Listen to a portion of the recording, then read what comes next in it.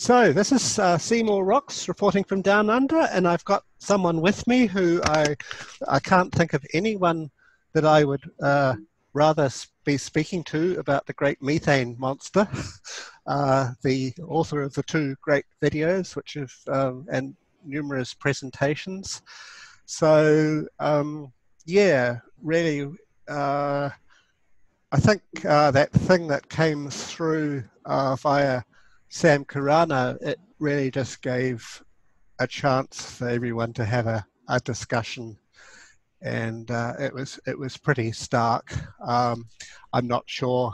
I mean, we're well through the 90 hours, and it doesn't look as though we're there. So. Uh, well, th- th- this is how I kind of feel about deadlines and things like that. I don't like them. I don't like it that we give things deadlines and I don't No. I just I just I just think it puts people into a tizzy because um, you did make that video 90 hours till the Yeah. ice melts at the North Pole, which I think is a very good possibility, and we can get into you yeah, know, well, you need to wake people up sometimes. why you know why that would be but but i really am adverse to deadlines people Yeah. are always asking me how long have we got how do yeah, i yeah, know I know. honestly you know i and then no they say, "Is there going to be a blue ocean event? But I mean, that means that there's a, you know, presumably that there's a million square kilometers Right. uh, of, And- of, of ice left. What if it's two million uh, square Right. kilometers? and and let's let's just be you know clear here just because the ice will probably melt at the north pole very very soon that does not mean that we're in a blue ocean event by long shot it no, no, no, no, no. It's a, it's it's, it- it's it's the first stage. yeah but it- but- it's the first stage for but- sure the critics, the people who are kind of denying this and you know disbelieving it, I find that they, the only thing that they'll ever talk about is is uh, sea ice extent. Well, that's that's only a very small part of the picture because the ice Yeah. is, is is just paper thin, you know.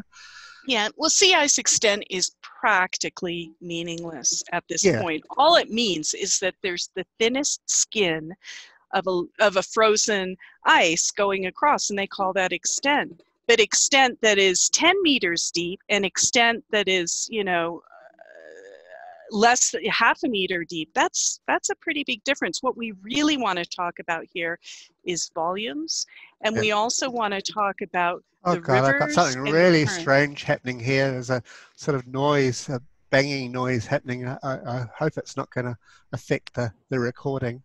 Yeah, I can hear it from my end too over there. as Anyway, well. Um, so shall I just share the screen and then we'll just go through it together? yeah, please, please So, do. that um, would be great. Okay. So um, no, I don't- Okay, can you see that all right? I can see that perfectly. This is great. Yeah, so that's kind of, oops, uh, it always goes, uh, so briefly it kind of went below the 2012 line. I suppose as we move into August, things are moving, cooling down a little bit. Um, you know, we'll, we'll, it's moving back up, but the, that's the sea Well, ice extent. I, I, I think we have a pretty good chance here. Just looking at this, uh, 2020 has been below the 2012, which henceforth has been the lowest sea ice extent. And again, here we're dealing with extent, and it's just not the greatest measure in the world, as we mentioned. But you know, look at it; it's Yeah. really only met the 2012 somewhere around June and uh, perhaps July, but now it's gone down under. And you know, we don't reach the lowest sea ice extent until September. So I think there's probably a pretty good chance we're going to be 2012 and things can around. go on. I've noticed the last couple of day, uh, years that things tend to go on. Yeah, the s- yeah the melt season ends in September, but uh, that's not where it ends. You know, things uh, uh, you know happen well into October. Yes, they do. And yes, they do. anyway, we'll just go through. So uh, this Yeah. is this is the thing that uh, nobody could find their way to, which surprised me. Okay. Yes, So- right. So this is from the Danish Meteorological Yeah, so this is from the Danish. right. thing, and I've always I've never used the Danish site because I've always liked the U.S. Navy, and um, it seemed to always show ice that was thicker than what the U.S. Navy uh, was showing. But this is this is pr- practically Right. they're, they're sort of on the same page, I think, on this. Right, right. Well, I think what's important here is to notice the bits of the darkest blue that's on there, and that's between half a meter and a quarter meter Yeah, um, of ice thickness. And you can see, I mean, take a look at the North Pole, and right there, there's a couple of dark blue dots, and it is really just pushing itself in there. And you know, that could also be from all sorts of currents that are going on under yeah, there um, you know the lena river when it comes out um, it actually is so hot coming out of siberia it leaves a streak of melted yeah, ice yeah. Well, that's that's that's the one thing, and then the other thing is I don't think uh, very few people have been talking about the uh, this this cyclone that we got, you know, the weekend before last. It just, oh yeah it just churned up the ice. Pam just sort of said, "Oh, it's like an egg beater." Yeah, no, it absolutely did. And especially because the ice is so thin, when that cyclone hit up in the Arctic, it was so strong and it just broke up whatever ice was there. So, of course, that's going to make that ice a lot less stable. It can rebond, but it's not going to bond as tightly as, it as it was before, you know. That's so, right, and it's not nothing like what it was in 2012 when we had that cyclone. Uh, uh, you know, because the uh, the ice then was relatively intact. Now it's not. You know. Yeah. It's true. It's true. It's interesting how low it's getting. So this is from August 6th and August 5th. Here we have sea ice concentration. Okay, so back to sea ice thickness. August 6th. Um, you can see that over in all of the Siberian seas, the Kara Sea, the Laptev Sea, the East Siberian Sea, they're all ice free up there. Look Yeah, yeah, that. yeah, absolutely. Yeah. And uh, as I will show, you know, we've got uh, unprecedented amounts of methane coming out of the area just above Severnaya Zemlya. Yeah. Absolutely. But anyway, I'll go on to the next one. So, Sure. uh, yeah, I always, I sort of learnt this with Margot. There's a, I've got a range of of databases that I like to look at. Um, Right. So this one shows the sea ice uh, concentration, Sure. and it's really getting down there, isn't it? Yeah, well, you know, the whiter it is, the stronger it is. The Yeah. more blue, it- the more blue it is, the the worse the ice is. It's you know full of holes. It's full of water. It's full of all sorts of things that are making it less strong ice.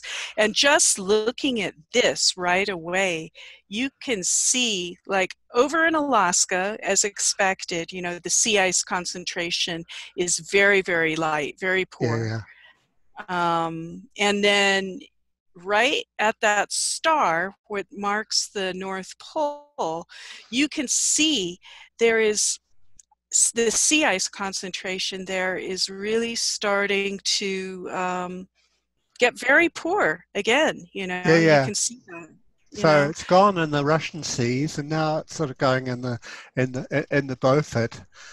And I would argue that there's very little ice. I, you know, I don't think that we're going to see a blue ocean event, but I would be surprised if there's much ice north of the uh, 80 degree north parallel.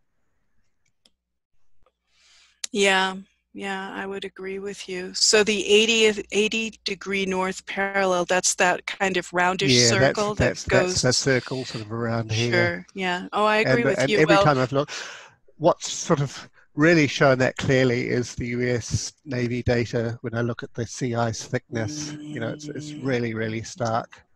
hmm no, this is this is intense. This is amazing. And this is what I like to, this is from the University of Bremen. And that's again, Okay. it's sea ice concentration. Another way to look at it, but blue being bad, you know, if you want to think of poor sea ice Yeah, concentration. yeah, yeah. And you can kind of see, like, if you look just north of Greenland, there are two kind of blue lines that are going Yes, up yes, yes. there on either side of the North Pole. And I'm looking, you know, when I was doing my studies on, on um, Arctic sea ice, I did a lot of um, studies on the rivers and the effects that the rivers had on the sea ice concentration, the Arctic rivers, right, Yes, that flow into the Arctic, and also um, the effect that it had on sea ice thickness and the water temperature. Yeah, and yeah. you can almost see, if you look at that, there's like uh, just to the, I guess we should say left of that North Pole blue dot, you see like within the 80th or whatever, you know, right Yeah, north yeah. of Greenland to the left. And you follow that line up and it goes all the way up to where the Lena River comes out. And Yeah. the Lena River is very powerful and it oh boy, pumps yes. a lot it pumps a lot of hot a lot of, i mean it's a big river and it's very very hot and think about how um, hot it's been in siberia it's been 100 degrees for like days and days on end Yeah, yeah. that river is super super hot so that lena river's coming out just where all that green bit is just right at the top there and it's Yeah. coming out and you can see where it's actually riddling away on the undercarriage of the ice there that's my yeah, interpretation because there are two major rivers, aren't there? The the Lena and the Yenisei. Mhm. right exactly exactly Anyway, uh, yeah So this this is what really alarms me, and I've got data there. Uh, if you look at the GIF, you know, if you want to see how uh, a meter of ice just disappears in 30 days, um, you just look at the GIF. It's amazing. Right. I did see the GIF that you had posted, and it is really stunning. So, what we're looking at here is not sea ice extent, it is really kind of more like sea ice volume, right? How thick is the ice? Yeah, yeah, You know? that's right. And then take a look again at the bullseye. It's not all that surprising. Right where the North Pole Yeah, yeah. is, it's going. It, it's it's. So That- can you give me That's the? about that's uh, about a meter thick. The, Is it? the turquoise is, supposed- I think, from memory, is is, is is um, two. oh two sorry, the, yeah, the blue. The, uh, the dark, the the, turquoise like is two turquoise meters blue. thick, and then and and and, and then the the other sort of This purpley is- thing is is half a meter or less. Right, right, right. So that kind of lightish purple is half a meter. So the yeah. the ice right at the North Pole is looking to be almost about half meter thick, which is Yeah, God, yeah. I mean, you just that's you don't have to hardly go very far north, uh, beyond that, do you? It's to- no, to find it's just like it's just like 20 inches thick, guys. That's not Yeah, yeah. that's not very thick at I mean, all. It's you know, God, darn you wouldn't wa- scary even want to walk on it. Oh no, you certainly wouldn't. And I bet they lose buoys there, you know, all the time. Yeah, They and I think I saw that they'd re- uh, removed some of their, um, you know, their investigative, you know, because it wasn't safe. Oh, yeah, that's right. Well, be, it becomes really, really hard to put a buoy on the North Pole, you know, Yeah, yeah. because the North Pole is not like stable. It's not just like always there. It's spinning. It's a gyre, yeah. right? It's a gyre and it's going round and round and round, albeit slowly, but it is a gyre. And the ice at the North Pole is not particularly stable. And looking at this, nothing here really surprises me, considering like for the last several years, we've hmm. had rain at the North Pole Oh, in the yeah. middle of winter. In the middle of winter, in the middle of the winter solstice, there was for the last couple of years, there's been rain at the North Pole. Yeah. And that's, you know, when there's 23 hours of darkness a day or something, you Yeah. know, out of 24. It's Gosh, just, I, uh, losing your volume again. I don't know what's Are you? Yeah, No. very strange. it looks all good on my end. I can hear Okay, myself. Yeah. Oh well, we'll, we'll we'll we'll see how it comes out at the end. Anyway, Right. and but this is this is I mean this is what you're talking about. These are these are actually maximum temperatures, and and it's been like this, and you know for a month or so, above above zero, and um, it hasn't basically changed. Wow. Look at Siberia is still really hot. I Northern know. Europe is still really hot. Yeah. It's just amazing. so the coldest land on Earth, really, if you look at this thing, is up in the Canadian archipelago, where all that ice is kind of piled up anyway through drifting. Yeah. And uh, the north of uh, uh, Alaska and uh, the north of Canada. Yeah, there, of the Siberia. interior of Greenland. Yeah. Right. Siberia is hot. Well, that, that little that little part of Siberia is okay, the one that's closest to Alaska, but the rest of it is really on fire. Yeah. Um, And of course, that's the thing about the fires. Uh, I've never heard anyone mention it really very much, but they're peat fires. And of course, uh, I think they were 40% worse this year than they were last year. That was the initial reports. And, and, and, Oh of, and of course, they don't really ever go out. Those things are so scary because once peat catches fire, you know, it's combustible and it, Yeah. that's why people burn it for, for heat, you know, but it doesn't go out very easily and it can stay smoldering underground, you Yeah, know, yeah. all winter long and spring to life in the summer. But here, Pam, Pam said, um, "Look at what they're look at what they're fighting the fire with. You know, they just had khaki, you know, uniforms. They didn't have any protective thing. You know, it was it was very very kind of basic. And Yeah. of course, you you've got to you've got to fight these fires very very intensively. And, and look at the area; it's impossible. No, I mean there's there's no infrastructure up there. I mean it's not like you know. I mean you're fighting in the wilderness. So what have we got here? What are we So looking this is at? sea surface temperature anomalies. So I mean they're ah, just Okay. absolutely huge. They're just off the chart. You know, all that whole area, right around the you know the edge of uh, uh, you know of where the where the ice is. I mean, It's either red or you know that Yeah. kind of other You know, it- color. You know what really kind of disturbs me about this is the sea surface temperature up in the Siberian seas. You know, look at the one, you know, directly north here, just north of that uh, the Arctic ice that's still there. I mean, that's Yeah, like yeah. red. That's red hot. I mean, it's red. You know, I, I've never ever seen this, and in all the years I've been monitoring this. Yeah. and this is the actual temperatures. I haven't got the, co- uh, the the color chart, but I mean that's that's Oh, the color pre- that's chart's right there. It's on the it's on the Oh, it's on the there. right, but it doesn't really Yeah. show. Yeah, it but this is actual. But it, but it's above. good. But it's but that's above zero, you know, and that's Yeah. that's eroding. You know, no one ever takes that into account either. That this is, you know, this is salt water that's Right. eroding the ice from underneath. Right. You know, Right. I mean, anything above zero degrees centigrade is going to be melting the ice, and the ice Yeah, is, yeah. is going to be actively melting. And uh, of course, it doesn't look so bad, you know, if you just look at the ice, but that's because this you can't measure the sea surface uh, temperature when it's full of ice, right? Yeah, so that's yeah. why that's white.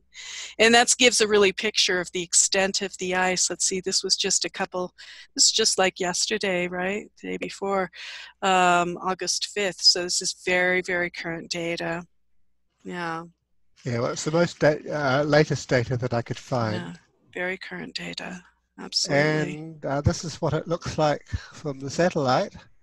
Yeah, little Uh, you can't tell a lot because because there's an awful lot of cloud in there. cloud, but the the land is outlined with a little line, so you can see yeah. that. So you can and see, if so you, you can, can kind kind of of see. break through the cloud cover, you can see that you know there's a lot of open water there. A lot Yeah. of open water where there shouldn't be. I mean, if you get this area, you know, in the in the Kara and the Laptev and everything, I mean, there's just so much open water. It's just unbelievable. Yeah, no, it's absolutely true. It's So, it's I've incredibly got a couple scary. of pictures here. So, um, oh, I don't, uh, like, I'm not quite sure. I mean, that's somewhere. That's you can see the edge of the cloud, and that's you just see these little little bits where you know where you can see behind the cloud. That's what it Mhm. looks like, you know, in the in, in the Beaufort after after the Mm. cyclone. Mm, oh, okay. So this is actually okay. You know what we're looking at here? We're looking at broken ice. That is like, look at all that ice is all broken up. It's like in little bitsy parts, Yeah, and um, that's if if that's up in the Beaufort. Um, then that's probably the result, both of the cyclone and the late summer melt as well. Yeah, because it was a big cyclone. You know, it was right up there. The second second most powerful, I, I, I gather, in Arctic history after the hmm. 2012 one.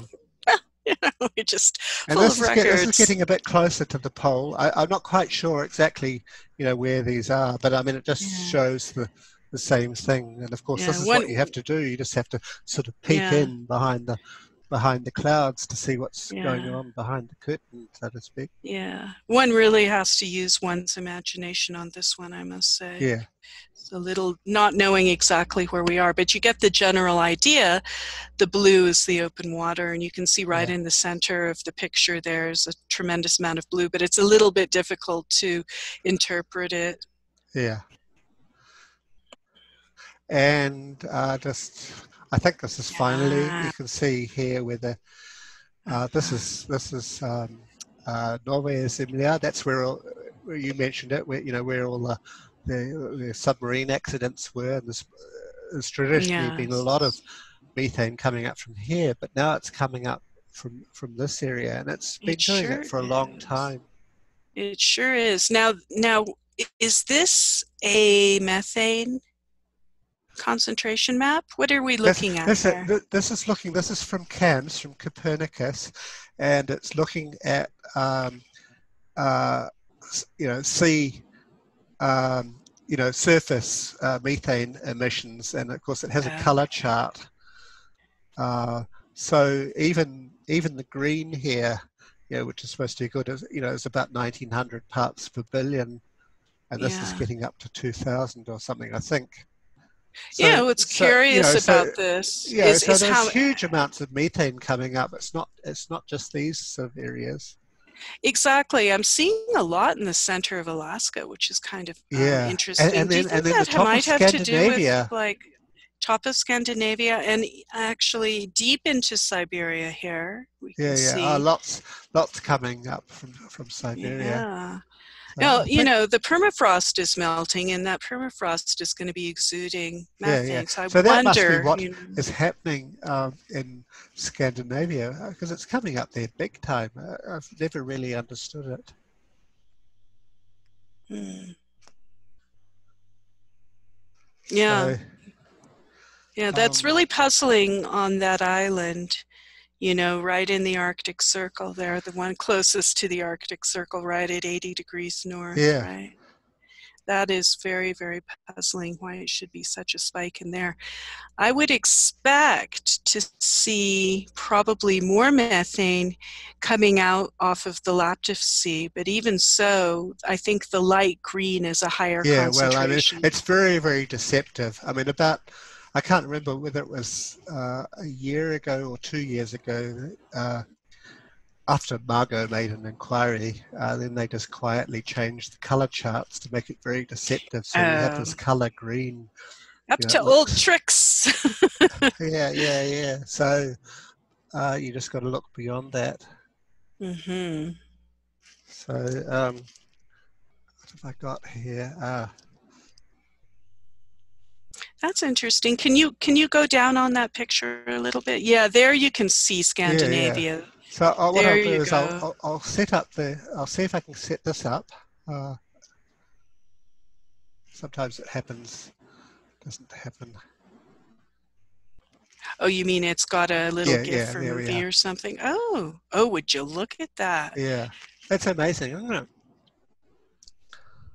Sure And then it goes into a, a, a, um, a forecast period. Okay. So that's how it looks, you know, lots of uh, Wow. coming up. It kind of just like poofs out, kind of like breathing, and then it sort of, you know, probably goes up into the upper atmosphere. So Yeah. this methane must be being measured kind of near ground level because otherwise it wouldn't be so concentrated right? Because if you if you measure the methane up like at uh, you know 10,000 meters or something like that then it's going to be a lot more diffuse. But this is very sharp. This is very targeted so it must be being measured at a almost like near ground level right? I would think. I'll I'll just uh, I'll just go to this uh, last one. Uh, so this just shows this is what I sent to you. I oh think yeah this, this, is one's a stunner this is a stunner. So now, just to reiterate, what's the date range that we're going through here? Can we see uh, that date range? It's at the top. It's at uh, the top. Date It- is, it's uh, well, the dates are changing. It's it's the last Oh, there, 30, there, there, it's the that's it, last that's 30 it. days. Right. So here we go, 2020 08. Okay, so yeah. So it starts at 714. So it starts on the 14th of July and goes to the 5th of August. So, you know, that's roughly like what, three weeks. So look what's happened. Oh my God. oh my God. Yeah, Now, it this a, is- it, it is this an is oh my a- god moment, isn't it? I mean, how how you lose a meter of ice in, in Oh a my matter of weeks, you know? Yeah, well, you know, ice plus heat equals water. Never, never fails to amaze me. Um, this, this is a stunner. This is absolutely a stunner, and you can see how quickly the ice can go away in the Yeah. presence of heat, the heat of the summer. And this is a sea ice thickness, right? Yeah. Yeah. Uh, And so look at that. It doesn't surprise me that people are saying that the North Pole is going to be ice free. Look at that. The, the, the only thick ice left is in the Canadian archipelago. The, the North Pole doesn't have thick ice. So, you know. something strange happening here. Uh, I can't get back to Yeah, you're good. You're turn good. this off. It's strange. I hope it's been Uh, recorded. Oh no. Uh, I mean, you're getting it all right, aren't you? I, I just Yeah, really no, it looks it uh, looks just fine. yeah, what I'm It looks just fine. Oh, wait a minute. Back to meeting. Maybe that's it. Uh, Oh, you you lost your um, slideshow. I've, I, I, yeah, I've sort of kind of lost. I Oh. This is this is a good meditation piece. I mean, look at that. Yeah. Meditate oh, I got your on volume that. back. Yeah. Oh, I don't know why. I haven't changed it. yeah. Well, um, But we are we are talking. You know, I'm up in uh, the middle of the United States, and you're down in New Zealand, Yeah. and uh, you know, so it's not that all, all that surprising. and it's, Well, this is it's yes, definitely please. very strange down here, but it's uh, it's very warm down here. But it hasn't. We, we've had a better winter than we've had for the last few winters because we've lost that hot blob on the Tasman Sea. Okay. Okay, so you guys were being So we, we, afflicted we, by we, a hot blob we, as we've got to rest from this for a while. Yeah, absolutely. This is just a stunner. You can just watch it and watch it and see so many things each time. And what I see is some banding. Um, if you look at this kind of, you know, bullseye in the center, the top left quadrant, you see Yeah. some kind of lines, some banding. So that's kind of interesting. That looks like you know, it's being affected by hot water, by currents, by something flowing on it to give it this kind of that kind of banded shape there at about 140 degrees east round round that uh, Yeah, yeah. Yeah. This and of course, I, I remember the shock. You know, I think it was last year, or was it the year before, when you know we had all of that super thick ice, you know, at the top of Greenland, and and uh, you know, it just suddenly uh, you got these shock headlines, you know, of of how the ice was detaching from the coastline. That's right. That's right. Because if you look at that uh, 80 degree north longitude, right up there at the top of Greenland, that was traditionally until last year Yeah, I mean, the place thick ice. the, the, the place of thickest ice and people were being so bold as to Yeah. say and well there's nothing. you know There's nothing at that left. Nothing. no and people were saying oh well the ice up there just north of greenland it's just so thick and so packed in it's not going to melt." Yeah, it'll be here till 2040. Who knows you know? But look at this thing. This thing is just melting away before your eyes. It's very scary actually. And Yeah, Uh, there's no more i can remember looking at these sea ice extent gifts over the years over the last you know six seven years and there was always a little bit of yellow and a little bit of green which would be three meters and three and a half meters. Nothing like Yeah. that. Well, there was always stuff that was up to four meters thick, yeah and there's nothing Yeah, of that left. It was there a few weeks ago, but uh, you know, a month or so ago, but uh, not now. No, not now. So, and I think you're just so right. You know, uh, it's pointless putting a um, putting a date on this. You just got to look at the yeah. at, at- the quality and just know that Well, you have this to can't look at the continue forever. You know, not for Right, you another 20, look- ten years, twenty years. Mm, certainly not certainly not and and you have to look at the trends you know that's i really don't as i said before i really don't like deadlines but if you look at the trends very closely and watch it very closely like you have done Mm. with bringing in many different maps many different charts different gifs different animations and put it all together in your head it's like okay you know it may not mount you know melt at the north pole in, in the next 90 hours Yeah, yeah. but it's gonna melt i mean look at this there's not much holding it together Well, the other thing that you might be interested in is what Margot has been doing. Is she's been taking the the uh, the NOAA readings from you know the Metop one and two, and, and and kind of recording recording the you know the average reading for each day, and she's just been showing how the levels have been going up, and they they went up by four parts per billion, I think, in one week. oh my goodness that's really that's really And that's that Escalating done. quickly. It's not yeah. you know she's doing fabulous work as a citizen scientist you Yeah, know, this yeah. is just where every, the every day she just does the same Yeah. things, same data, and you know, and then um, things you, you start to see things. You know, You that- do. you do that. You absolutely do. And you put lots of different pictures together. You can connect the dots in a kind of three dimensional Yeah, way yeah. almost. You can see it. And you have an awareness. You wrap your awareness around it, you know?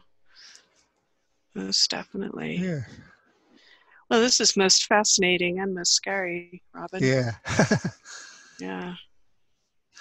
Most definitely. yeah. Well, we could talk about this probably for a long time, but um, yeah, it, it's. Um, I mean, I yeah, when that news came out, um, I just felt, you know, it just hit me in the chest for a day or so. You know, I just, I was just in a state of shock, really. Well, yeah.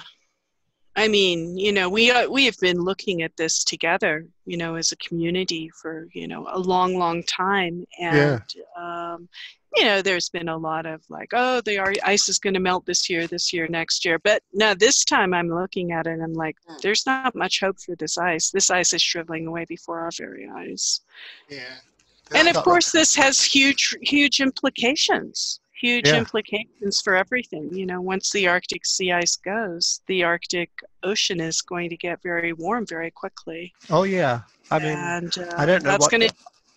what happens if you've got a month, say, of, of relatively open waters. You know how how much the, those waters are going to um, to warm up to heat up in that time. You know, I would say they're going to heat up pretty quickly. pretty quickly. I think. Yeah. Most definitely. Most definitely. Well, this is just a stunner. God, this is the most dramatic one of all, for sure.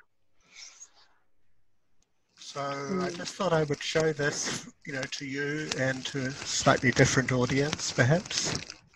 Mm-hmm. Yeah, absolutely. Um, so I think I'll try and find a way to uh, to stop this. I know it's recording and I can see it, you know. but uh, oh, wait a minute, stop video. Okay, yeah. So um, right, well, yeah. Shall we leave it at that, Jennifer? Sure, I think so, Robin. I think that's quite stunning. Yeah. Kind of amazing. So Really, that's uh. Jennifer and Seemorerocks.